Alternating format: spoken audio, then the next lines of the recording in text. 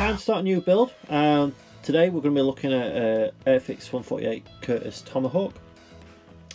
Uh, this uh, kit is the uh, the tougher grey plastic that our Airfix sometimes use uh, instead of the, like the bluey coloured plastic. So first off, it's getting the cockpit together, uh, basically cutting, sanding, test fitting, make sure it all goes together nicely.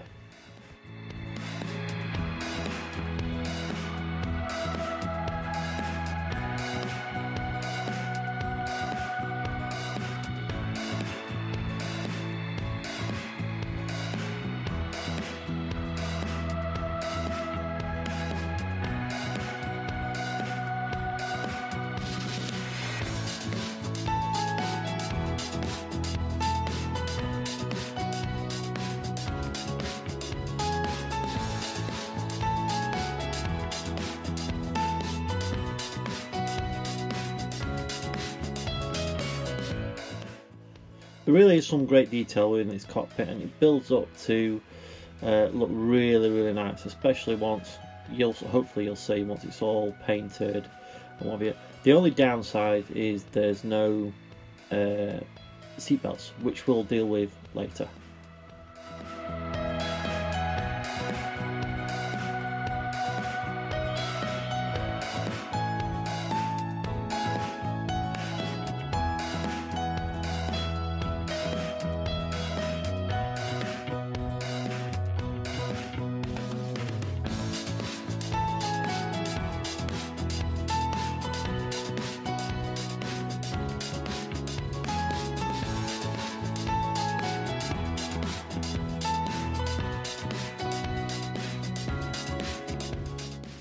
This next part is part of the front cowling. It tells you to build up the fuselage and then glue these parts in. I decided to do it this way to make sure we could get a nice fit in case I had to uh, shim it at the back or anything like that, which I didn't need to do.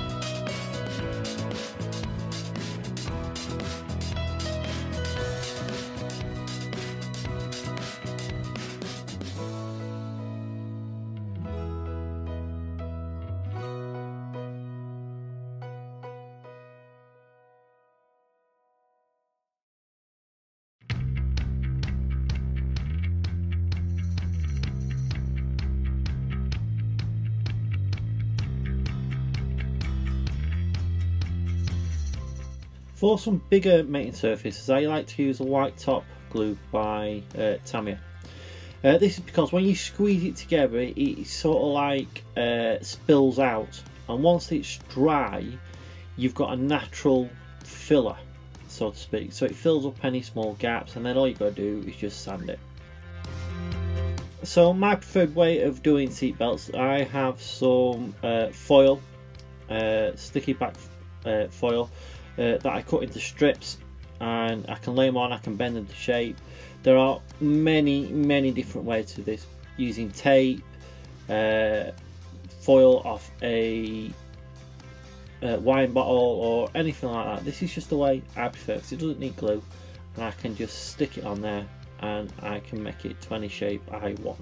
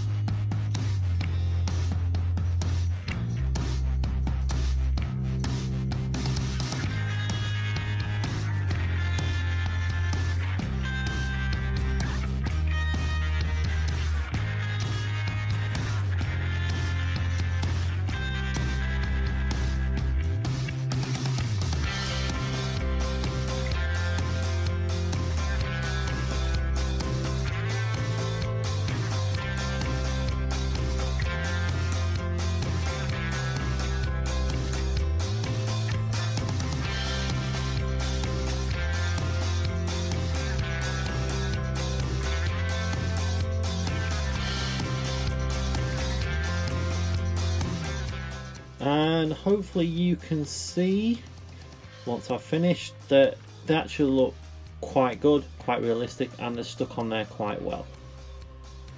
So next up it's priming and I'm just going to use some Tamiya black for this, it doesn't matter what it is uh, and with my wider nozzle airbrush so I just spray all the inside where I think there should be some uh, shadows and stuff like that just missing it on to start with and then building up the colour as we go.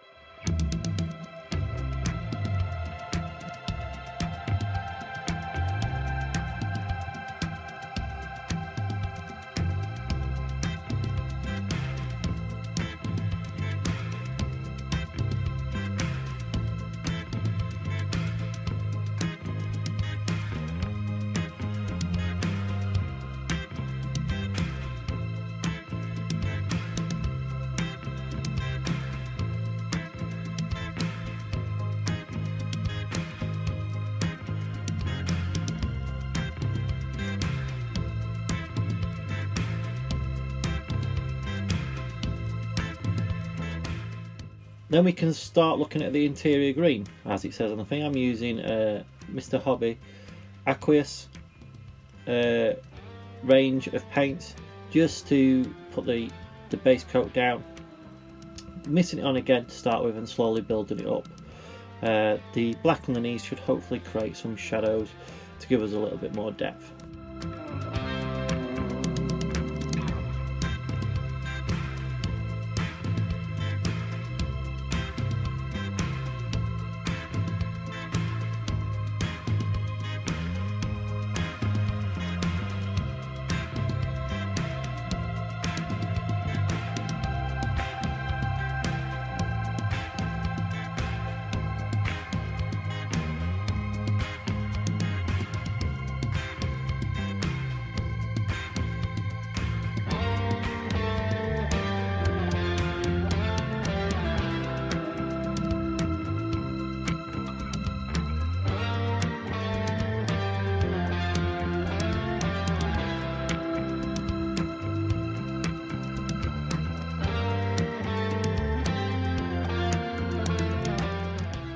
Once it's all painted, uh, I would have I've painted the black parts, the instrument panel, and now I'm just adding some detail with some gel pens.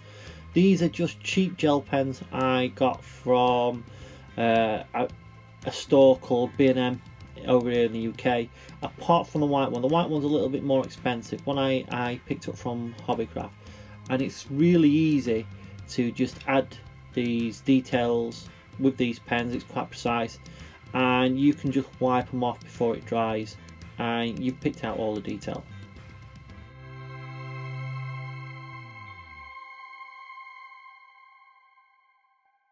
Next up I've just got a big thick brush that I use for dry brushing and I'm just lightly dry brushing over uh, the consoles just to give it a metallic look and uh, all that sort of stuff just to make it stand out a bit more. I'm not doing a heavy dry brush, this is just a light dry brush uh, because I don't really like the effect. Uh, once that's done, we can start adding some pigments after I'd already done a wash. So I'm just adding uh, some pigments because this is going to be a desertized uh, P40. So there's going to be lots of dust and uh, sand and stuff like that in the cockpit.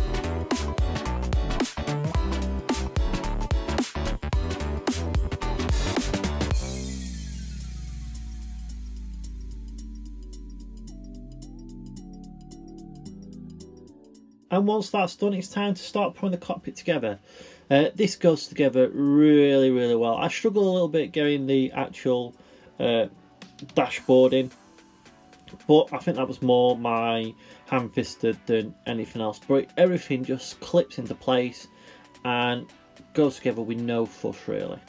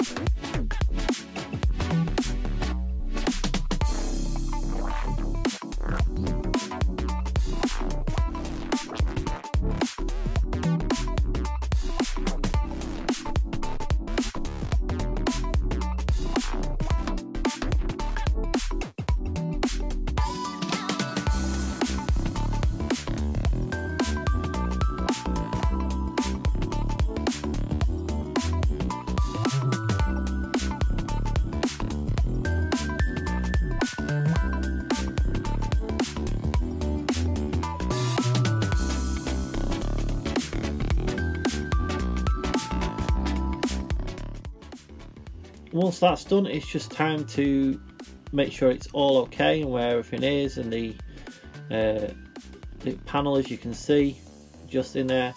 And once it's done it'll be time to actually put it into the aircraft which should go in fairly easy.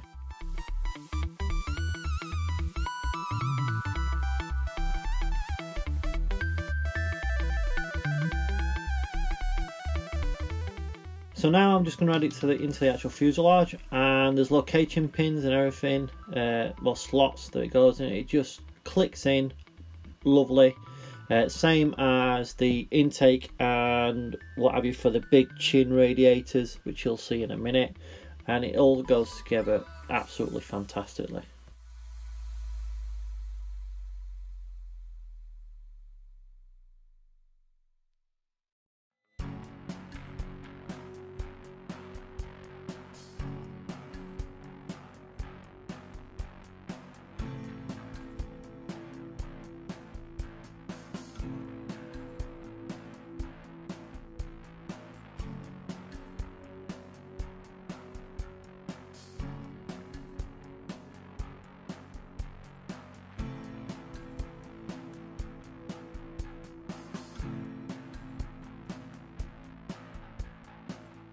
And then next up we're mating up the two uh, fuselage surfaces uh, and using tape, pegs and all that sort of stuff. We're going to uh, clamp it together and it goes together really really well. The only problem part is really around the nose area but with some fiddling and some bits and pieces it's really easy to get together.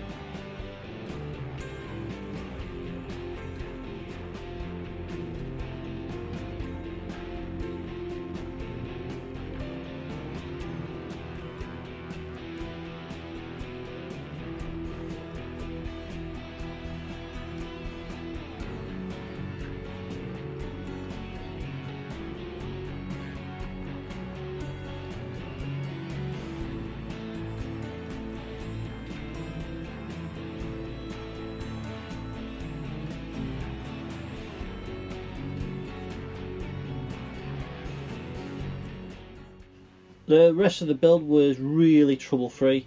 Uh, no filler anywhere really on this aircraft and it went together really well.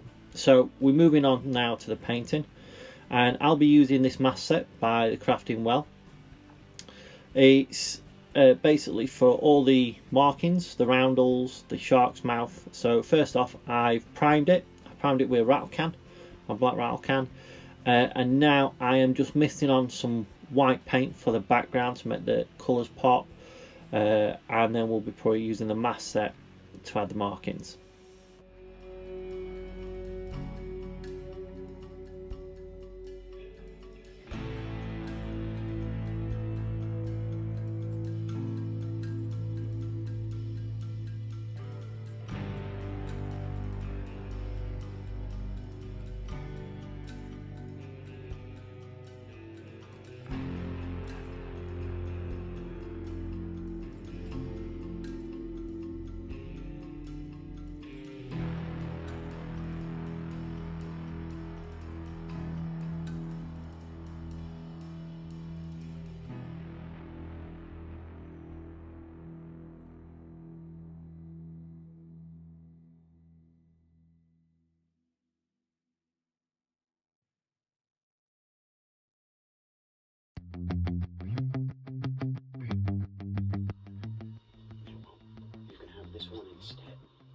Mask set again, okay, with all the different parts. The, the most difficult part of this is going to be the mouth. Uh, obviously because we've got the two pieces and we want to make sure they line up correctly with the outer bit for the black bit. So using some tape, uh, I stick the tape down, peel it back, hopefully just peeling off the mouth part, which you'll see in a minute. Okay, there we are, you can see I've just peeled off the, the mouth bit. And then that bit can get put onto the actual aircraft. He says. There are, put it onto the aircraft, burnish it down. And then we pull the tape back and there we've got the shark's teeth.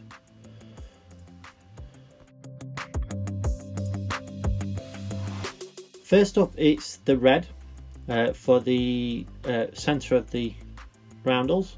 As you can see I've put some of the other markings already on there and for the tongue of the mouth. So we're going to spray that first and then we'll move on to all the other colours. So red first,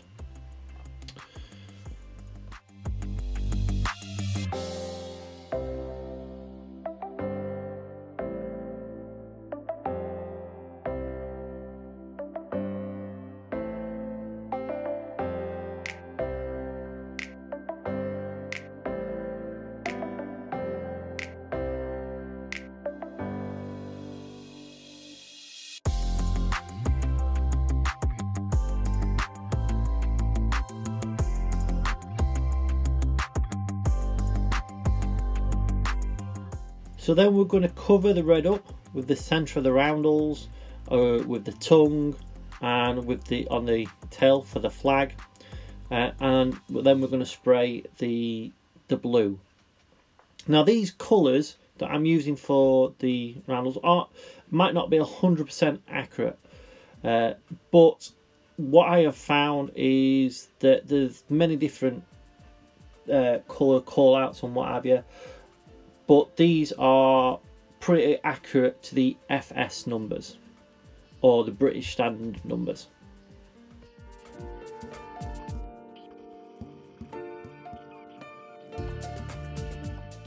And here I'm adding the tongue part of the actual mouth, okay, over the red. There we are. Making sure it's all nice and straight and burnished down so it, it looks right. If it's not quite right, put it back down and do it again.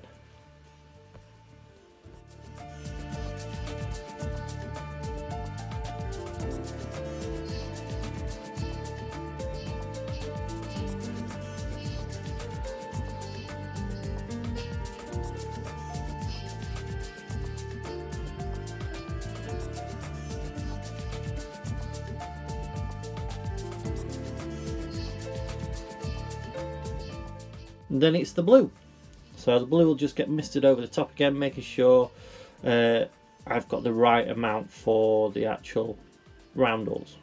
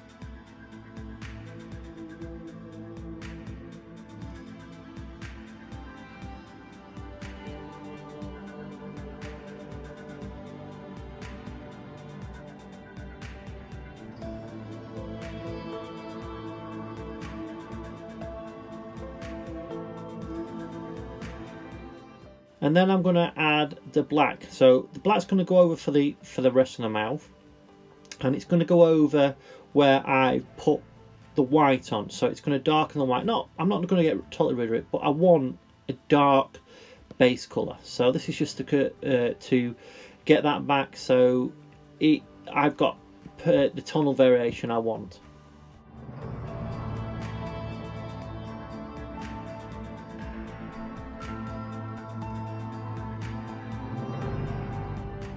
Once all that's dry, I'm then going to start adding some uh, aluminium, some uh, Vallejo metal colour, so I can do some chipping. So around, around the wing roots, the leading edges of the wings, and places like where I think it might be high incidence of, of wear and tear.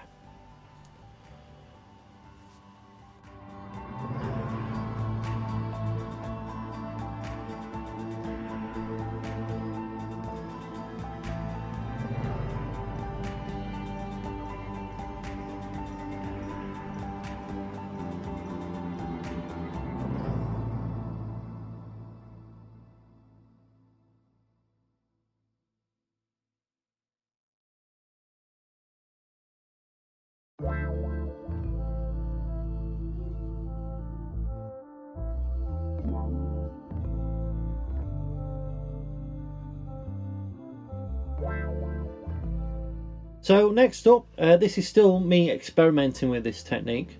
Okay, so I've got a jar of Marmite there and a needle. And all I'm going to do is put that where I want the chip in.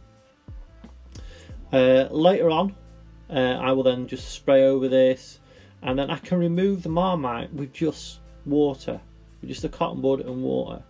And hopefully it'll give a nice chipped effect.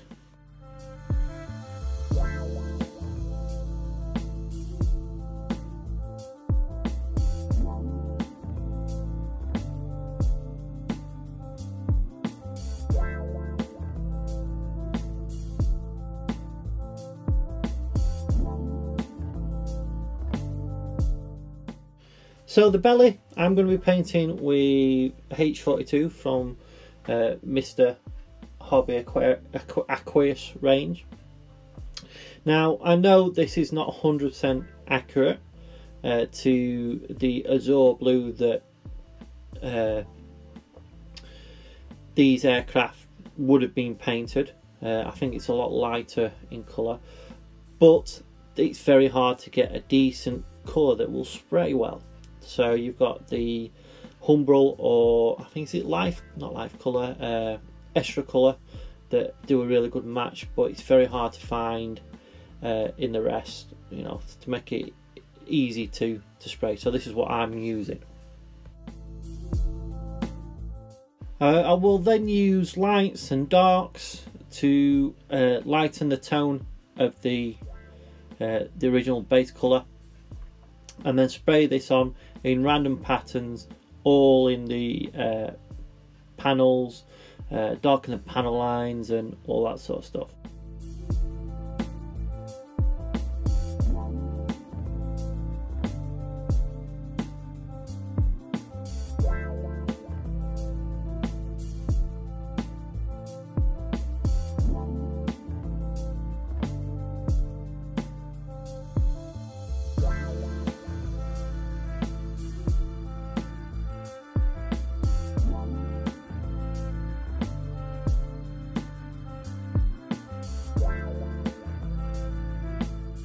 The colour, colour I'm going to be using Desert Yellow XF59. Uh, just spraying this on as I would normally do where I uh, think it is and then I'll be going through the same process of lightening and darkening panels and places like that.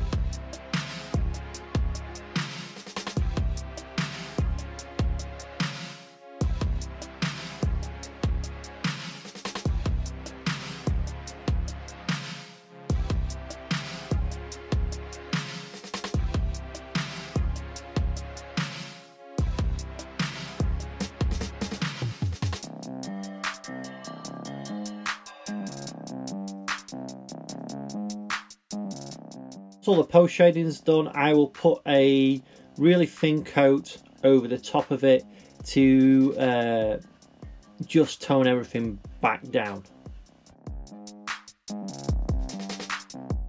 Uh, next up, after masking off, is the darker brown. And again, this is going to take the same principle. So I'm going to put the base coat on, lighten the panels, and then on the panel lines, darken it, and then add a coat over the top of that to tone everything back down.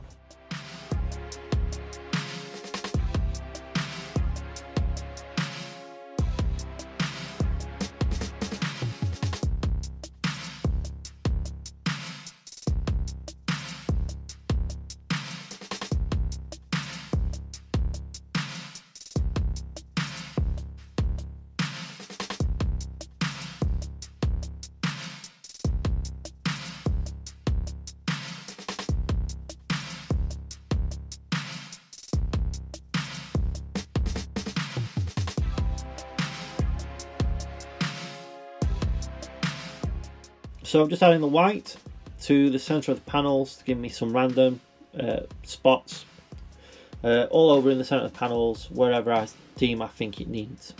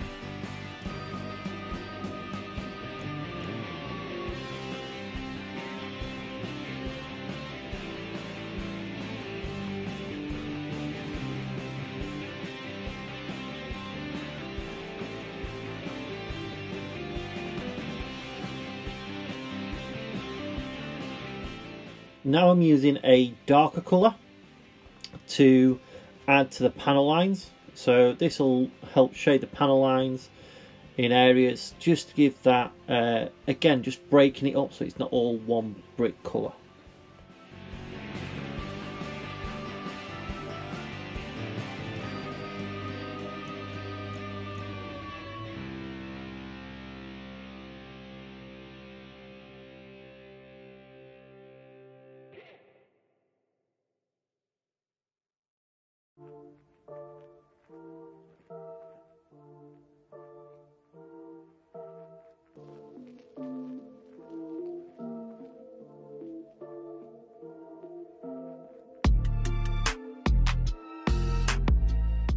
There you can see the darker and the whiter tones and now I'm going over it all with a really thin misty coat of the original colour just to bring it all together so it's you know it, it's random but it looks weird and there's plenty of tonal variation.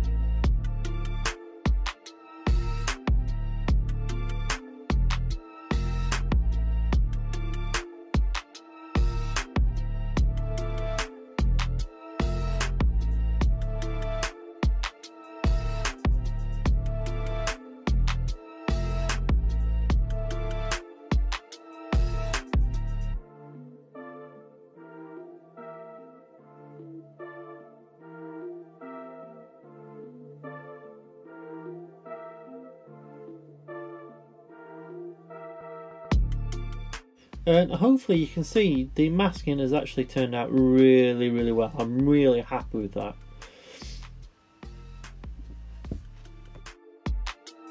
Right it's time to remove the uh, the marmite. So just with a damp wet cotton bud and then you can see it's just wiping off just with water. Leaving what I hope you can see is quite a realistic effect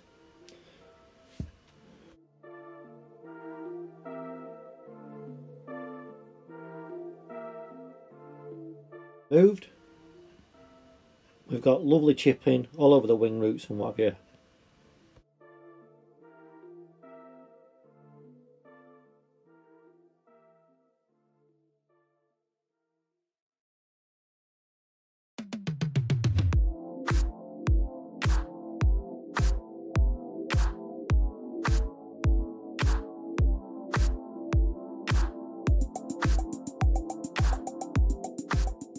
Once uh, I have put a gloss coat on the aircraft and I'm then going to use a wash and I'm just using a, a natural or neutral wash should I say by MIG.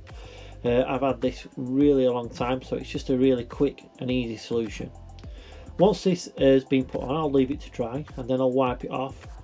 Uh, and we should be left with some nice panel lines and some dirt across the airframe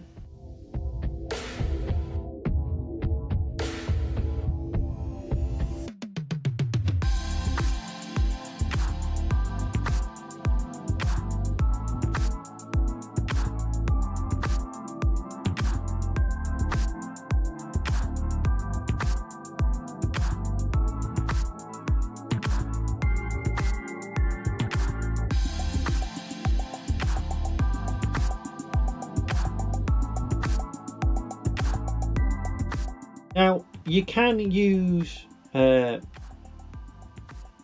a piece of kitchen paper or whatever that's got some terps or some white spirit or some something like that to wipe it off. But I just tend to use a dry uh, piece of kitchen paper unless it's really really ingrained. Then I'll wet it and, and remove it. But I feel that it gives it a more natural look because then you've got dirt not just in the panel lines but you've got, you know, your first layer of weathering, a bit of dirt all over the place.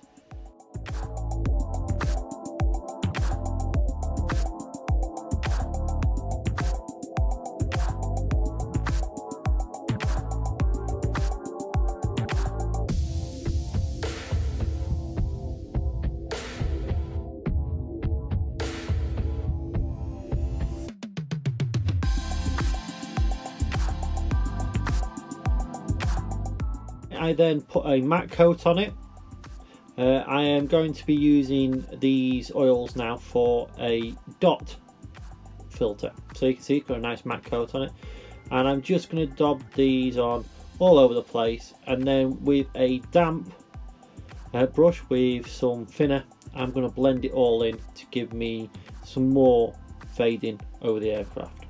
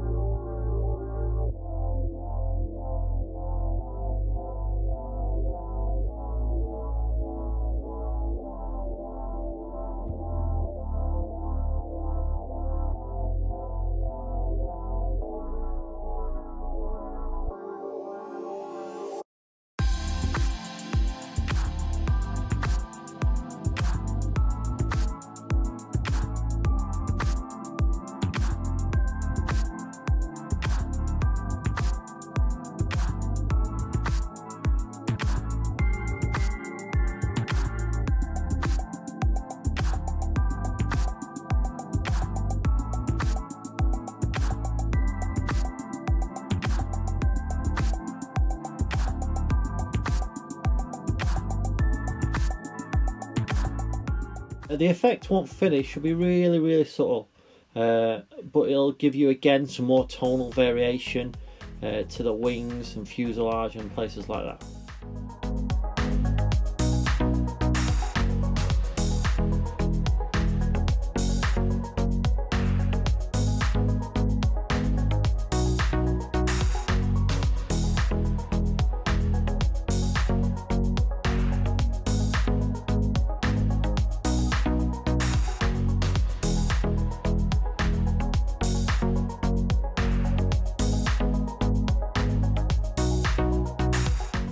Going to add some finer chips and I'm using some watercolor pencils both metallic and uh, normal okay? Uh, using them dry and using them wet.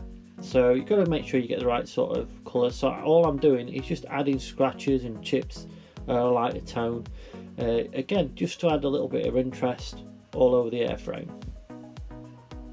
Once that's done I'll then get the metal one and maybe go into the center of those ones where I've, I've already put it in just to have chip into uh, inside the chips I already do to make fine scratches all over where I believe they should be.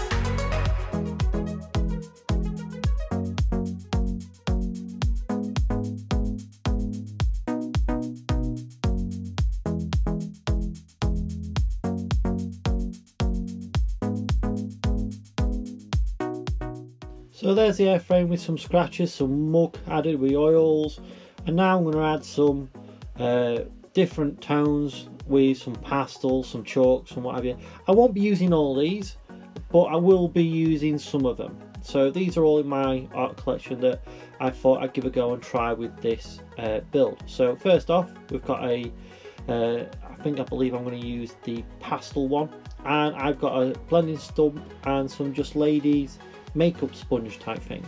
So on the bottom, as you can see I've already started, just with a, a charcoal and then I'm going to use the makeup sponge and just drag that down to give me the uh, the look of uh, where the cases come out of the, the shoes.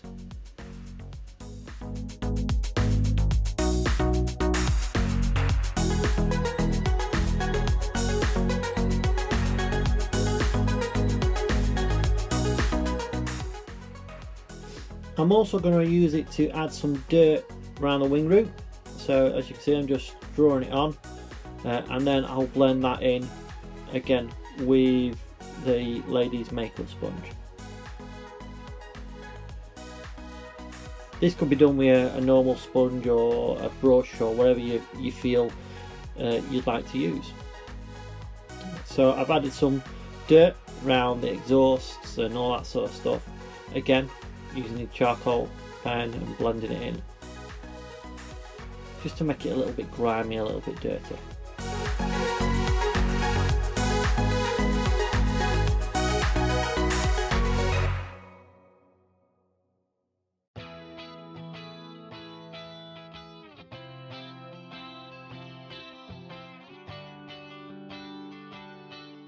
Once all that's done, uh, adding the wheels, on the carriage and uh, doing the exhaust stage. The aircraft's now done, the model's done.